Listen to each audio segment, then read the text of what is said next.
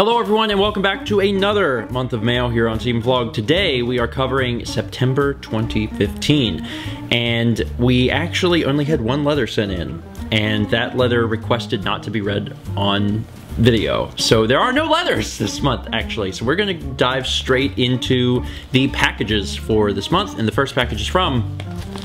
Who's the package from? Okay, it's from Poland. Yeah. And it's a Polish name, and I'm gonna try not to completely mess this up, but it's Mateusz. It's pretty good. Mateusz. so. Ush, maybe. It's um. Polish for Matthew. Yeah, M A T E, M A T E U S Z. So it's uh, not a not something I'm completely familiar with. So we just opened it up, and inside was a box for Mega Man 6 Battle Network, uh, Cybeast Gregar, which I, am not familiar with the Mega Man series, so I'm not really sure. And it says that there's a leather inside. So let's open this up and pull out this leather. And the leather says, Hello, Stephen Mao. My name is uh, Mateusz, which there he writes a pronunciation, and it, I think we got it pretty well. Mateusz. And I live in Poland. I really like both of your channels, especially Stephen Vlog. It's really interesting to see everyday life of people in America and to compare it to my own. Um, I'm sending this letter in September, so knowing how the how the post works, I should probably wish you a Merry Christmas. Uh, my GBA recently broke, so I figured I can send you this game since uh, you don't own it yet. I hope nobody will have sent it by the time you receive this mail. Anyway, all the best wishes to the both of you. I don't know how to end a letter, Mateusz, or um, Mon Mongoliski Mongol on YouTube having a hard time reading that. I'm bad with cursive anyway, so if you combine cursive and Polish, I'm I start to do really, really badly. But um, Mateusz, thank you. Uh, we don't get very many leathers or packages from Poland. I can think of maybe one or two other circumstances where we did. Uh, but Mega Man, Mega Man 6, the uh, the Battle Network games have always been really popular with people. Like people have really uh, really enjoyed them, but I've actually never played them. But, you know, I wonder if Thomas has ever played them. Probably. Because Thomas is a big Mega Man fan, but there are so many of them. But I, I guess it's like a, like a continuation in the story or something. Anyway, uh, thank you so much for sending this. And uh, it's also really great to get letters and mail from, from Poland, since that doesn't happen very often. Our next package is from Arky in Newburgh, New York.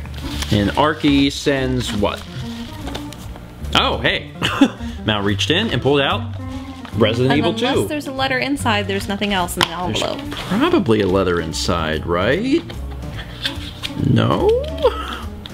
Really? Okay, there's no leather inside. Um, but still, thank you. Uh, Resident Evil 2 is a fantastic game and uh, I don't believe we had it for GameCube. It's This was a game that was released on a lot of different systems, like a, a lot of them. Um, but I don't think we had it on GameCube. GameCube actually may be the definitive way to play this. I'm not sure. Maybe not anymore because I think they just recently re-released or, are talking about re-releasing this for like next-gen systems or something. But um, I remember at the time this game was out on like PS1 and they brought it to N64 which was crazy and then I think maybe this, maybe for GameCube was the definitive version, I don't know. Resident Evil fans, you're gonna have to inform me on that one because I'm not entirely sure. Regardless, Arky, thanks for sending in a classic. Our next package comes from what looks to be um, some company.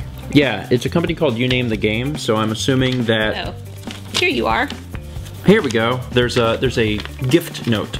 By the way, if you ever send anything from a company or like Amazon or something, do be sure Try and to give us a gift note. Yes, because otherwise we have no idea.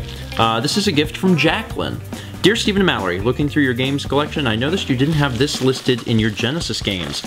I have uh, some fond memories of it, and I hope y'all will enjoy. Love, Firestar 1992. Oh my god, it's actually sealed. this is a sealed copy of Animaniacs. I remember this game. I, I was this game also on Super Nintendo?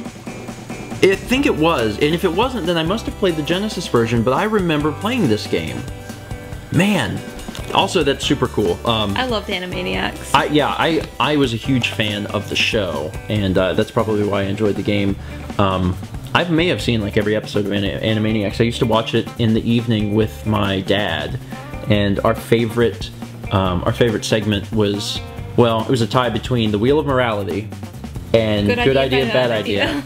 Such a good. There's a compilation video on YouTube for both of those things of all of the good good idea and bad idea and all of the wheel of morality and they're both like fantastic. So Jacqueline uh, thank you so much. This is awesome. I think that we should definitely do uh, first 20 or something of Animaniacs because it's it's a great show and I believe the uh, I believe the game was actually really good too. So thanks for that. Our last package comes from Matthew in Ontario. And what did Matthew send us? Papers papers, please. Uh, so we got a, a pretty long letter here, and then also, uh, let's play uh, Novara Autism presents Extra Life benefiting McMaster Children's Hospital Children's Network. Um, oh yes, this is actually uh, this is actually one of our new patrons. Okay. Um, and I, I believe he had said something on um, Patreon about sending us something. So this is his letter, so let's give this a read. To Stephen and Mallory, I am a recent subscriber to your vlog, and ever since I first found your channel, I've been impressed by your dedication to each other and to the vlog, and I've been thoroughly entertained by the two of you and, and watch it much more than the Stephen Plays channel, but that's just me. Since the summer started, I began to watch your vlogs from the very beginning, and to the point I am writing this letter, I've reached March 2012. Knowing that the two of you are also avid video game collectors, I've taken the liberty of sending you a couple of additions to your collection. The game I'm sending to you is two versions of my all-time favorite uh, game for the 7 gen seven generation consoles. When uh, I acquired my PS3 in 2008, this was the first RPG that I got, and I have enjoyed it ever since and wanted to share this game with you because you, uh, and because you played To the Moon, I know that you will enjoy this game too. Eternal Sonata has the best storyline I've ever seen in any video game, as it has a very relatable story on so many levels. Since discovering your vlog and how much the two of you love each other, it made me think of the love story in this game, and now I thought that this game would be perfect to give to both of you. One of the reasons you'll both enjoy this game is that it's an RPG with a co-op system option that is similar to the Super Nintendo RPG Secret of Mana in the sense that three people can play it together. So you would be able to have other people join in on the game, whether it's your family, friends, or anyone else you can think of. While the two versions of the game have many similarities, they also have different, uh, many differences. For instance, the PS3 version features, without spoiling anything, uh, has an additional main story dungeon, more playable characters, and a reworked cutscene dialogue for most of the characters. Since doing my Let's Play of this game in 20 2014, it's become one of my most popular Let's Plays and encouraged by success, I've wanted to bring greater awareness to the game. This has included bringing it to the attention of your friends, Emile and Massey, which in, uh, included giving the latter a PS3 copy, as well as other members of the Runaway Guys and LucahJin, and I look forward to uh, continue creating further awareness of the game by bringing it to the attention of others who I believe would appreciate it, it it as well. At the very least, I believe that this is a game worthy of being featured in your first 20 series, but the two of you will have a lot of enjoyment with the game for much longer than 20 minutes. As you can tell by reading this letter, this is a game that is very near and dear to my heart, and I do believe that this is an RPG that deserves more attention as it is truly an underappreciated game.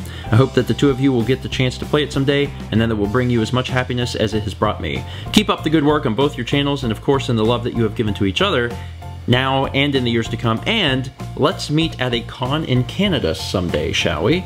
Respectfully yours, Matthew, uh, Let's Plays at Novara Autism. Matthew, thank you. And of course, should be noticed that we uh, note noted that we have received Eternal Sonata both on the 360 and also on the PS3. So there are some differences, which is interesting, and he um, pointed out uh, some of the stuff um, it is. It's always a little weird whenever the uh, a game is released on, you know, multi-platform, and there's there's some key differences. But that's cool, and it's really nice of you to send us both copies of the game. I've heard good things about Eternal Sonata. Um, in fact, I remember being back in uh, in college and and hearing about it, and um, I, I, think Alex was the one who really wanted to, to to get it and play it, but he ended up going through a different RPG at that time. I can't remember the name of the RPG he went through, but it was a 360 RPG because he almost, I think he almost got Eternal Sonata and worked through that instead. So, um, Matthew, thank you so much for sending these in, and I totally respect uh, you bringing awareness to a game series because I feel like a lot of times Mal and I do that ourselves with the Mother series. So power to you and power to Eternal Sonata. Uh, for everyone that sent in something this month, thank you guys so much. If you're watching right now and you'd like to send something in, you can. Go down to the description box below. There's a link that'll tell you where to send stuff in and how to do it and all the other rules and regulations that come with that. And um, we'll see you guys soon.